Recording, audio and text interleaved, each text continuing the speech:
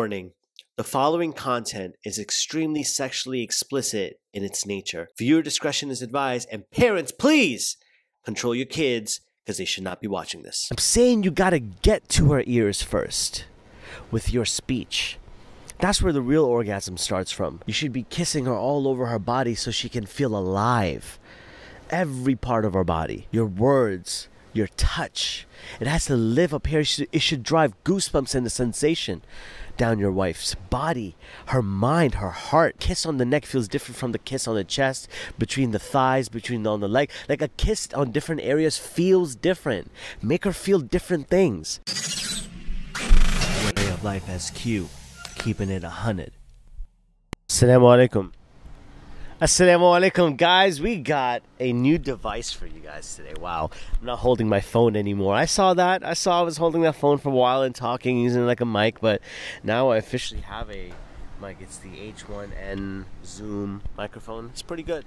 Alhamdulillah. It's my first it's my first recording making with this besides test run. So I'm excited to be with you guys. Today's topic, guys, is gonna be kind of like uh uncomfortable uh, for those of us, a lot of us, you know, and uh, you know, a lot of times I hear the feedback, SQ, you don't have any haya. And I'm not going to make a joke about this, but I'm, I'm, genuinely serious. Like, you don't have any haya. Uh, you don't feel embarrassed. Like, astaghfirullah, like, how can you just so openly talk about this? Uh, let's be clear over here. I wouldn't speak like this if my mom was in front of me. You know what I mean? Like I wouldn't I wouldn't do that. Like my mom is all the way in her room, all the way down there, right? The door for the patio, which is usually open with like the the jali for the mosquitoes, that's like fully closed. So like even the glass doors on it, and it's like soundproof almost because it's like uh, double glazed or whatever. So I'm not talking in front of my wife that way. Like, you know, I, I think I would talk in front of my wife because like that's my wife and I should be able to be open with her. I hope you'd be able to be open with your spouse as well. Um, but I wouldn't speak like this for my children because their ears are too sensitive right now. And I don't think it's the right time for them to know about these things and hear about these things. But there will come a time where they need, they need to hear about it. You know why? Because it's going to come to their ears. There's no avoiding it. It's going to come, the message of this is going to come to their ears in the schools. And, and, and you might be thinking, SQ, what if I send them to an Islamic school? That's the solution? Yeah. I'm not saying Islamic schools are not the solution. What I'm saying is that if you rely solely on the school or the setting of the school to raise your children instead of doing that hard work on your own at home, it's not going to work. There is no solution for it besides you being a parent. Simple as that, right? Uh, yeah, take take that for you know straightforwardness. Today's topic is orgasm. Ooh, orgasm. Even saying that word is just like, ugh, it's weird. You're hearing, oh, SQ, okay, okay, brother, don't say it anymore. Orgasm. Just because you said not to say it, I said I'm going to say it even more. A lot of you rookies out there think orgasm is that physical, uh, natural way of you releasing of uh, seminal discharge. You think that's what orgasm is, right? Like, ah, that's it. No, yeah, that's scientifically what an orgasm is, but today's topic is about how to essentially give your wife an orgasm. And a lot, again, rookies might think that it means down there, but that's not where the orgasm starts from. The orgasm starts from here. Oh, SQ, you're saying I gotta bite her ears? No! That's not what I'm saying. I'm saying you gotta get to her ears first with your speech. That's where the real orgasm starts from. From you saying things to your wife that get her feeling good. Because that's essentially what an orgasm is making them feel good. And you don't have to like talk dirty to her. Like, that's what you think is cute. You gotta, get, you're gonna make me talk dirty to my wife. Astaghfirullah. Why not? One, why not? I'm not telling you to do that. That's not what I mean by this, but why not? Why, if you're not to talk dirty to your wife, who are you to talk dirty to? The person at work? The person on Facebook? Who? It has to be your wife. Why not? Why not? That's your wife. Isn't she halal for you? A lot of you, SQ, can I do this? Can I, what, what can't I do? Why don't you explore everything that you can do? And if you find out that it's wrong, seek Toba and move on from that. Stop always trying to look for, uh, you know, this is, you're gonna, you're gonna take this out of context. Ah, SQ sake, don't worry about halal, haram. No, assume everything is halal until proven haram. Except the things that you know right? Like, I wouldn't do that with alcohol. Oh, it's, it's halal until someone tells me it's haram. No. You know alcohol, pork, these things are haram. You know you're not supposed to go on the backside of your wife. That's it, right? That's it. You know that. Everything else is fair game until proven to you. Okay? Just just chill out. Have fun with your wife. What is an orgasm, SQ? It's that feeling down there. Is it all those sounds that I've heard in pornos? No. That's not what it is. That's deluded your mind about what an orgasm is. It starts by you entering your wife's ears with your words, with your speech, with your kindness, with with your compliments, with your praise. Oh God, you're looking so beautiful today.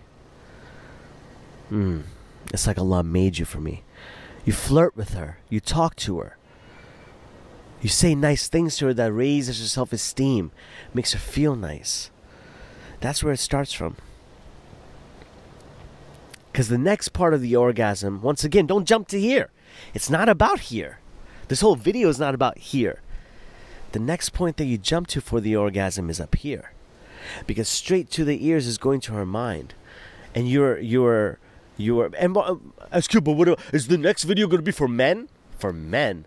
A guy can stand in front of a toilet, rub one out, and be done go in the shower, rub one out, be done. Can a woman do this? Sure, but it's a lot more. Uh, you know, it's more uh, surgical for her. It's different for her. For a guy, you know, 15 seconds are just done. You could be done with it. You could, like, you understand, like, a guy's not that deep of an issue. Like, let's be serious here. We're not, right? For woman, it's different.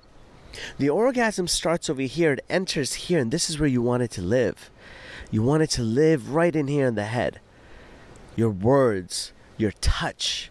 It has to live up here. It should drive goosebumps and a sensation down your wife's body, her mind, her heart. It should drive a sensation everywhere. And I, am not. I hope this is recording. It says it's recording, but I, have never really used it, so I don't know how like I would put it on the computer and all that. So I pray that everything works out with the camera and everything like that. Inshallah. Allahumma ameen. Your touch should do something to her. Your speech should do something to her. The the the, the perfume, the, the cologne, the the other, the what you wear, your scent should do something to her. And if it's not doing something to her, that means that you need to go back, revisit your relationship, reflect over your relationship, and make sure it does something for her. Stop thinking about marrying someone else when things are getting bad between you and them when you're getting into arguments and fights. Stop thinking about bailing yourself out by marrying someone else. Fear Allah. I'm not suggesting that you can't marry someone else. I'm not suggesting that polygamy is not something that's permissible in Islam. I'm not suggesting that, but what I'm saying is that your intent and reasoning to do it needs to be right because guess what happens? You marry someone else, you're going to marry a third one too. Because if you treat the second one like you do the first one eventually, which you probably will because you're bringing over that emotional baggage, that character like baggage to them too, it's only a matter of time that you need a third because, ah, these two bad apples, right? But you're not going to look at yourself. Ah, orgasm, huh? Some of you didn't even click this video. Ugh. SQ's gonna talk about sex. If I'm not gonna do it, who is? I'm done waiting around, you know? Oh, your sheikh should be doing this, scholars should be doing this. Well, they're not, so I am. Isn't that initiative? Isn't that leadership? Damn. SubhanAllah. Anyways, you want to live in here. Your touch should do something to her, to her heart. It should just like melt her. You should be kissing her all over her body so she can feel alive. Every part of her body. Let your imagination run wild a little bit. Whatever is impermissible from Allah for the backside, stay away from that. Right? Stay away from the whole area. But every other part of her body is permissible for you. So make her feel like it's permissible. Make her feel like she's wanted make her feel like you know like she hasn't felt alive in a while. Like make her feel alive. You know allow her nerve endings to experience different sensations all across her body. You understand that like we have nerve endings everywhere. Like every like a kiss on the neck feels different from the kiss on the chest between the thighs between on the leg. Like a kiss on different areas feels different. Make her feel different things. That's where the orgasm starts from. What you thought this video was going to be about How, how, oh, oh, SQ, okay, here's the tips. Step one, go down on her. Like, no, that's a part of it, right? That's a part of the kiss. That's a part of doing things and kissing around that area too. Make her feel alive everywhere. And believe me, excuse me, when you focus on making her feel alive, by just the grace of Allah, the, the mercy that Allah has put in our spouses' hearts and minds, they're going to make you feel good too. Don't think for a second that it's not going to be reciprocated back to you. The reciprocity of a woman is serious. If you got her feeling really, really good, she's going to make sure that you feel really, really good too. This is how Allah has made women. But we have to make sure that we're doing all those things. Make her feel alive in every part of her body. Every part. Make her feel alive. She should melt. She should melt. Now, again, I'm not saying that this is going to happen every single time you have, oh, SQ, how long this is going to take. You can't, it's not feasible with children. I know it's not. I know it's difficult. I know it's difficult. But eventually, when you're married to someone, and before children, I hope you were doing this, right? Or, or pele mine me bache liye. Like, what, what was it? What was it? Did you guys have fun together? Some of you just jump straight into having a baby, and that's a blessing. Look, a baby is a blessing from Allah. It's a ni'mah from Allah. I'm not suggesting that it's not, but I hope that you spent some time together. Because when you have the baby so early on, you might not feel like you've really spent time together, traveled together. If you if you're getting pressure from your in-laws to have a baby, tell them, "Hey, in-laws, this is my marriage. If your husband's in laws is doing it, husband, you know, grow a pair. Tell your parents, listen, I love you guys. May Allah bless you guys, but please don't interfere in my marriage. Say it in the nicest way possible, but that should be the message gotten across. Your mom shouldn't be running the marriage. Is that revelation? Your, your parents shouldn't be running your marriage. It's your marriage. Run it yourself, according to the Quran and Sunnah, of course. Yeah, you respect your parents' decisions. I, I respect your opinions, parents. Give me, Bismillah, faddal. Come on, give me, give me the opinions. Oh, you think I should have a baby next month? Okay, Dad, what do you think? I think that she should be doing this. Okay, Mom, do anything more? Yeah, she should be cooking and cleaning too. Okay, Mom, no problem. Thank you. Acha, beta, are you gonna do it? No. Because it's my marriage. I, I, I respectfully listen to your opinion. Jazakallah khair, Mom. May Allah reward. may Allah reward you. Dad, thank you. I appreciate your your your opinions as well. I appreciate you. Thank you. Then you walk away and you live your life. That's it. What's happening? Best I'm living with my in-laws. I live with my, my, my, my wife lives with my mom, which is her in-laws, but she she thinks of her as her own mom. I think of my wife's mom as my own mom too. You know? It's not they're they're your parents, you know, and parents need to back off. If you're a parent watching this, back off. Back off from your children, bro. Like let them live. You've controlled them your whole life. They've you've but you know, ball post send them on their way, kick them out the nest, bro. I'm not suggesting it should be like Gore who kicked their children out at 18. but I'm saying that it's like, you know, let them make their own decisions. Let them benefit their own lives and stuff from this point out. Allahumma ameen. Okay. Okay. Look, mosquitoes, these Machar, bro. Oh, I killed it. Subhanallah. Machar.